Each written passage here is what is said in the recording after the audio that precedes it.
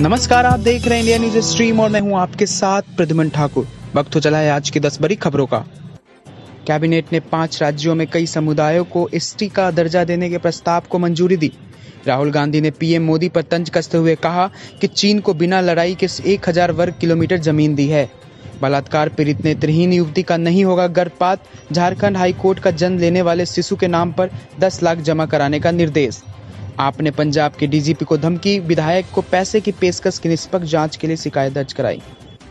Supreme court ने BCCI संविधान को संशोधन की अनुमति दी। सौरभ जय शाह बने रहेंगे अपने पद पर। भाजपा दूसरे राज्यों से गुंडों को लेकर आई ममता ने आरोप लगाया।